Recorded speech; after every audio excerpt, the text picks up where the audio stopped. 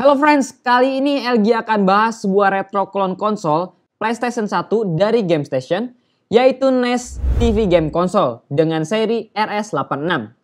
Karena konsol ini clone dari PS1, so pasti desainnya sendiri ini dibuat semirip mungkin dengan PlayStation 1 originalnya. Mulai dari desain body, warna, hingga letak tombol-tombolnya guys.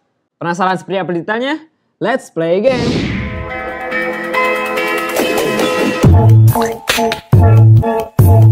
Halo guys, welcome back to our channel PCL Main Game. Ketemu lagi sama host yang selalu galau dan gak pernah kenal sama malam mingguan. Seperti yang sebelumnya LG bilang bahwa kita akan bahas sebuah retrocon konsol PlayStation 1 dari Game Station. Seperti biasa, LG akan bahas mulai dari packaging hingga ke bagian fitur-fiturnya guys. Tapi sebelum lanjut, untuk membantu channel ini terus berkembang, silahkan teman-teman tekan dulu tombol subscribe dan juga like-nya agar channel ini dapat terus berkembang dan dapat membuat konten-konten yang menarik berikutnya. Thank you.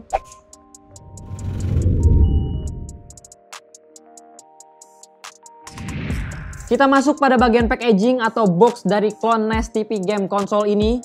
Secara tampilan luar rupanya packagingnya sendiri juga didesain mirip dengan packaging dari PlayStation 1 original.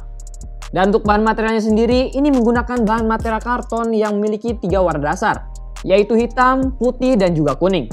Fokus pada bagian depan, pada bagian tengah terdapat sebuah gambar konsol dan juga controller yang juga ditemani dengan tulisan Game Station dan juga NES TV Game Console. Kemudian untuk desain sisi kiri, kanan, atas, dan bawahnya ini sama ya guys. Yang di mana hanya terdapat keterangan kelengkapan paket penjualan dan juga tulisan Game Station 8-bit NES TV Game Console. Dalam paket penjualannya, kita akan mendapatkan kelengkapan sebagai berikut. Satu unit konsol, dua joystick, satu buah mini AC adapter Type B, satu buah kabel TV out, dan yang terakhir so pasti kita juga akan mendapatkan satu buah user manual book.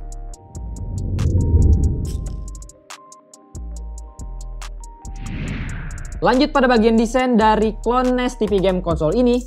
Secara tampilan luar memang seperti yang tadi LG bilang bahwa desain dodinya ini mirip banget sama PlayStation 1 original. Paling yang menjadi pembeda hanya tulisan yang ada pada bagian tengahnya ini. Kemudian untuk bahan materialnya sendiri, konsol ini menggunakan bahan material plastik matte finish yang berwarna silver pada sekujur bodinya. Pada bagian tengah terdapat dua buah tulisan, yaitu Oini One pada bagian atas dan LB Game Station pada bagian bawahnya. Kemudian pada bagian kiri dan kanannya terdapat dua buah tombol, yaitu tombol power dan juga reset. Beralih pada bagian depan, di sini hanya terdapat dua buah port untuk joystick 1 dan juga 2, yang ditemani juga dengan satu buah LED indikator pada bagian tengahnya. Kemudian kita beralih pada bagian belakang konsolnya. Di sini terdapat port TV out yang tentunya untuk kita koneksikan kepada layar TV kita.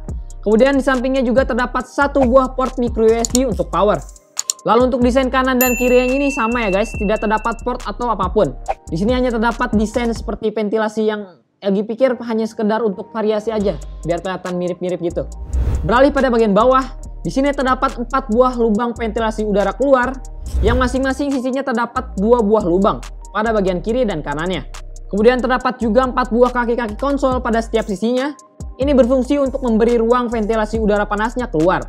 Kemudian secara dimensi, clone NES TV Cam konsol ini memiliki dimensi sebesar 20 x 14,5 cm dengan ketebalan sebesar 4 cm dan berat 204 gram. Kita beralih pada bagian desain dari joysticknya guys. Secara tampilan luar bentuknya ini sendiri masih sama seperti kebanyakan joystick pada umumnya. Namun yang menarik perhatian LG ada pada bagian depannya guys. Di mana pada bagian depannya ini tidak terdapat tombol apa pun. Dan untuk bahan material dari joysticknya sendiri, ini menggunakan bahan material plastik matte finish yang berwarna silver pada seluruh bodinya. Fokus pada bagian depan, pada bagian kiri seperti biasa terdapat tombol penggerak seperti direct pad. Lalu di setengahnya terdapat dua buah tombol select dan juga start. Kemudian di bagian kanannya di sini terdapat 4 buah tombol action yang berdesainnya warna-warni gitu guys. Kalau secara dimensi, joysticknya ini memiliki dimensi sebesar 14,8 x 9,3 cm dengan ketebalan 3,3 cm dan berat sebesar 64 gram. Joysticknya sendiri memang agak lebih kecil dibandingkan dengan joystick PlayStation zaman sekarang ya. Tapi untuk tangan LG sendiri nggak terlalu kekecilan sih, jadi mestinya nggak terlalu masalah lah. Namun salah satu tombol B pada joysticknya ini pas pertama kali LG buka dari packagingnya, ini udah rusak guys. Memang luar biasa ya.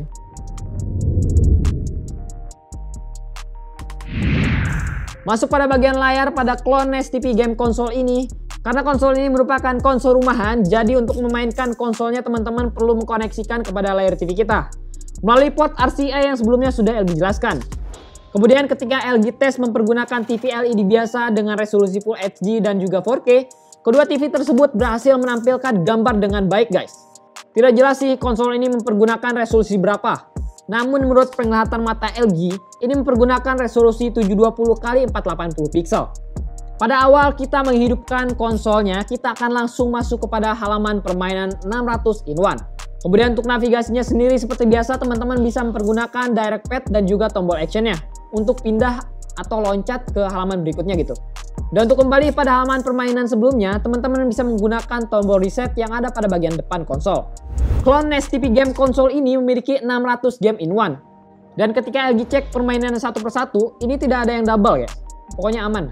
Kemudian untuk gamenya sendiri ini masih sama seperti konsol-konsol retro yang sebelumnya juga sering banget LG bahas gitu. Di mana terdapat game seperti Mario Bros, Contra, Turtle Ninja, Ninja Turtle, Adventure Island, dan juga lain sebagainya. Daripada teman-teman penasaran gitu ya, berikut ini merupakan cuplikan game yang ada pada Clone Nest TV game konsol ini. Check this out guys.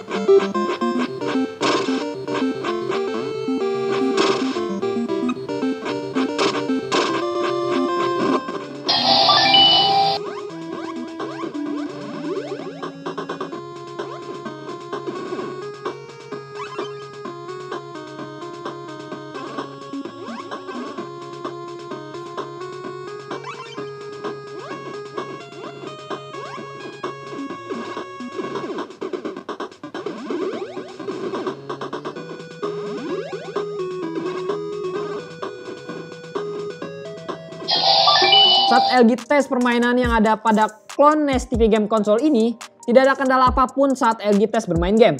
Namun sayangnya kita tidak dapat menambahkan game pada konsol ini guys. Jadi teman-teman harus puas dengan game bawaannya saja. Lalu untuk tombol actionnya sendiri ini terasa empuk dan juga nyaman saat LG tes bermain dalam game. Namun untuk tombol direct padnya ini cukup agak keras ya guys. Tapi untuk ukuran konsol retro ya, di rank harga segini menurut LG oke-oke aja sih.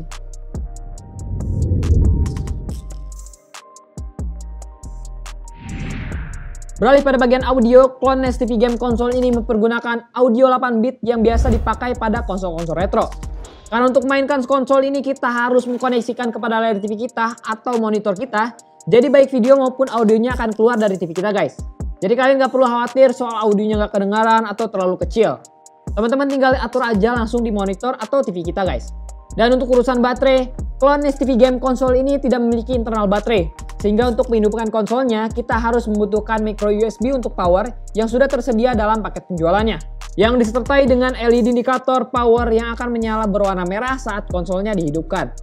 Overall, menurut pendapat pribadi LG, Clone Nest TV Game konsol ini merupakan sebuah cloning retro konsol yang cukup menarik untuk kita mainkan di waktu kosong bersama dengan teman ataupun keluarga kita guys. Terdapat 600 game yang berisikan game-game retro yang pastinya akan membuat teman-teman bernostalgia dalam memainkannya. Paling menjadi concern LG, kita nggak bisa menambahkan gamenya aja. Jadi kita harus dipaksa puas dengan game bawaannya saja guys. Dan yang paling parahnya tombol B yang salah satu sticknya, ini pas LG terima gitu udah rusak guys. Agak kecewa sih, tapi ya udah biasa sih. Buat kalian yang berminat dengan konsol ini, siap-siap rogoh kocek sebesar 200 ribuan saja guys. Dan nanti LG bakal taruh linknya di kolom deskripsi. Jadi silahkan dicek. Jadi paling itu aja guys review LG terkait dengan Clone TV game konsol ini. Buat kalian yang berminat silahkan cek linknya di kolom deskripsi. Dan buat kalian yang tertarik untuk kita bahas game atau konsol atau controller yang lainnya, bisa komen di bawah ini nih. Kira-kira game atau konsol apa atau controller apa yang bisa kita coba bahas berikutnya. Kalian juga bisa mempertimbangkan buat subscribe kepada channel Pichelman Game dan buat kalian yang suka dengan gadget gitu ya dan ataupun teknologi, bisa kunjungi channel utama kita yaitu Pichel Media Group. Dan buat kalian yang penasaran tentang kehidupan ataupun cerita di belakang layar, bisa kunjungi channel baru kita yaitu VMG Pams atau klik link di atas sini guys. Jadi itu dia guys video dari LG kali ini. LG undur diri. Thank you guys for watching. I'll see you in the next video. Bye bye. Dinda jangan marah-marah.